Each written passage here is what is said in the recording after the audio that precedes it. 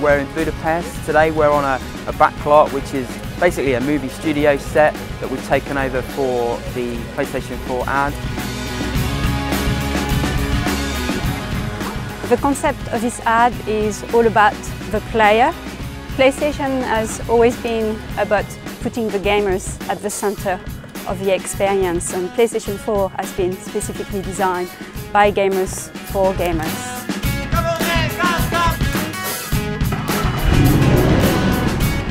As a race car driver, I used to play PlayStation a lot, uh, learning new track and getting more experience. But also because I can crash the car as much as I want, it's cool.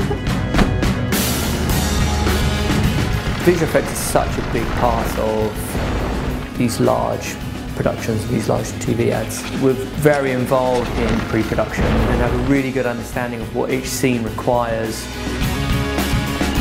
PS4 has been designed by the players for the players. The brief focused on next generation features of immediate, immersive and connected gaming. We wanted to highlight PlayStation's unique heritage as the best place to play. So the idea behind the launch film for PS4 is uh, to show a world where play has been set free. Throughout the ad we've hidden over 50 references to past and present titles. There's an online experience where you have to try and find as many of these hidden references as possible.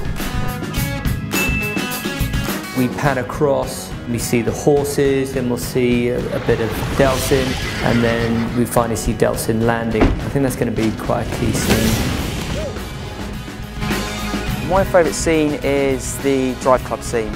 We are turning a family car into a supercar from Driveclub to represent the interaction that you can have with PS4 when you're on your smartphone or your tablet. Our mission today is to employ frontal assault tactics on an unsuspecting human, codenamed the Player.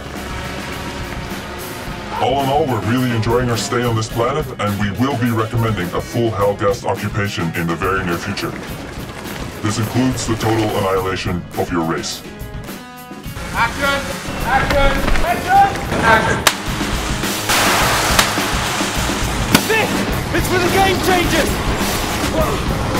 The innovators! This! It's for the!